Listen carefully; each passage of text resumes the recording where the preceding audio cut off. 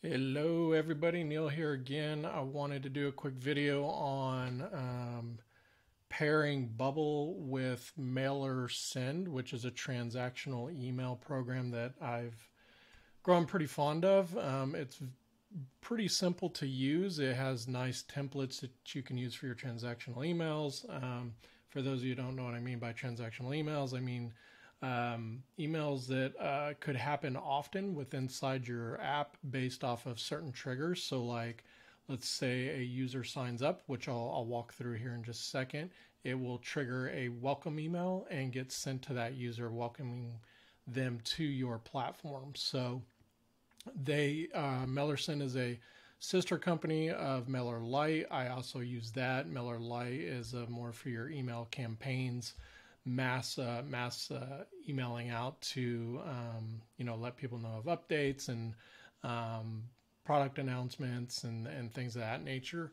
Uh, MailerSend is more for one-off emails to your individual users. Um, you can do different things with it, but I use MailerSend basically for that. So um, you know, based off of triggers, it can send them an email. But anyways, so let's go through it real quick. Um, like I said, I like to use MailerSend. Um, the the the bulk of setting up MailerSend is usually on the MailerSend side. When you uh, set up your account and you register, um, it usually takes about 24 hours for you to get verified. You have to set up some DNS uh, entries and records to be able to um, direct the email flow over to them and let them handle it from there.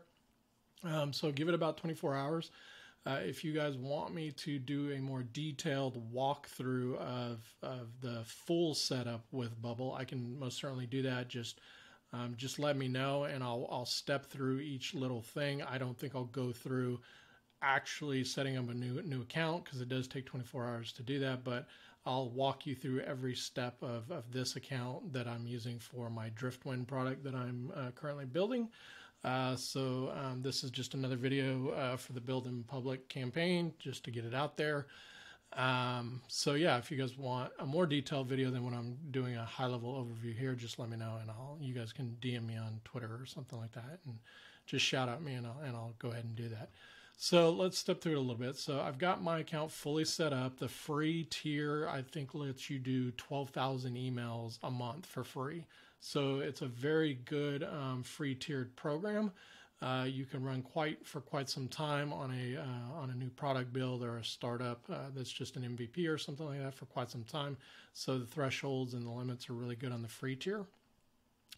Um, so the first thing you do when you go to set up is you got to go in and you've got to verify your domain. This is where you do your DNS records and things of that nature. Um, and then once you do, you'll go into this and then you'll get an API key for authorization that you'll leverage in Bubble.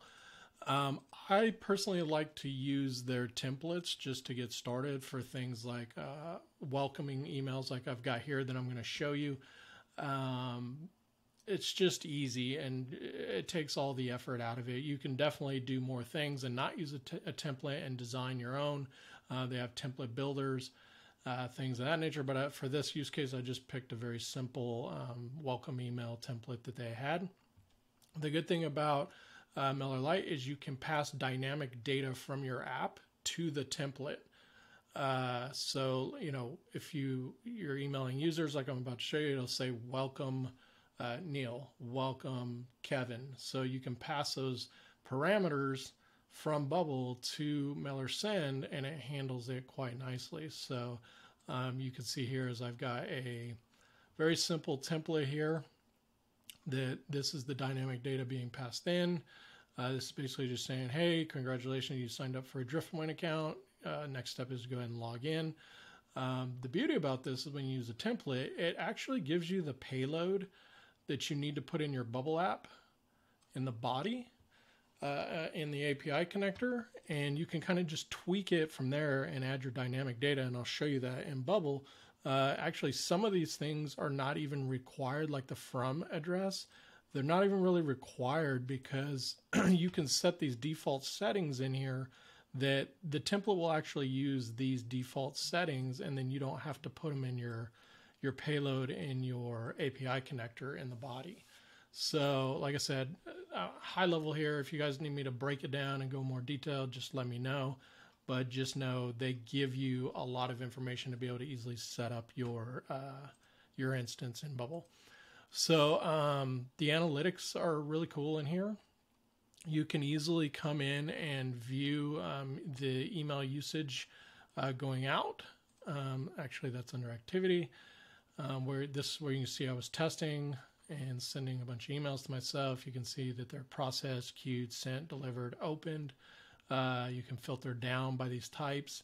So it's it gives you some really good visibility into the um, full kind of life cycle of the delivery of the email, which is very important for your app. So um, you, you definitely want that visibility. Um, yeah, so that's kind of high level MailerSend real quick, and then I'll jump over to my Bubble app and we'll go to the API connector where I've set up my uh, endpoint that I'm going to hit. So here it is. This is kind of the uh, the setup. This is uh, the authentication is none or self-handled, and we're going to pass the token, the bearer token, in the header, and then the content type is application JSON, and then um, MailerSend likes to receive this kind of XML HTTP request uh, with with the payload. So you're going to want to set this to. Um, you can do this two different ways. You can obviously use this as data, but more than likely you're going to use these as actions. So you can use these as steps or workflows in your or actions in your workflows in your Bubble app. Um, so a couple things I had to kind of uh, figure out was um, you've got to set the data type to empty here's the endpoint, and and and MailerSend documents their API pretty well, um, so you can get these endpoints very easily. And then here's the payload that I'm sending off uh, through my workflow, and then I've inserted some dynamic data. So this will be the email to address will be uh, dynamic, obviously, because we want it to send to that user that's logging in. Uh, these are variables that get set uh, full name. This is another field I have in my sign up form that gets passed with their full name. And then when you're using a template, you'll have to assign a template ID. So these are kind of the two main parameters that I'm passing right now. Obviously, you can do a lot more, uh, but for this use case, it's just really simple. So I will walk you through that real quick. Let me go back to my authentication page.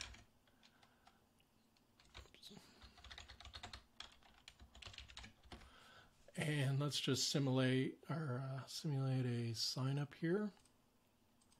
So let's just say uh, Ryan Pierce. Here's my work address. Hmm.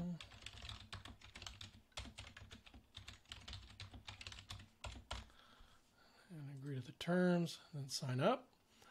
And then right there, that kicked off that workflow, and I'll show you that here in just a second. Let me pull up my um, email, and there it is. The email came through.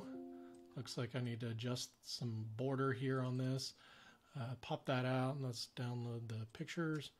And there you go. You get a nice uh, email template that um, looks good in, in, your user's inbox. Uh, obviously, another big reason for using uh, services like MailerSend are the delivery rate is going to go way up uh, compared to what you uh, you get just out of the native Bubble um, SMTP server. So uh, let's look at the workflow real quick. So the workflow is real simple. So I've got a few things happening here. I'm signing up the user. And then here's my endpoint that I'm hitting to send that data and pass these parameters into the API connector, passing those through right here.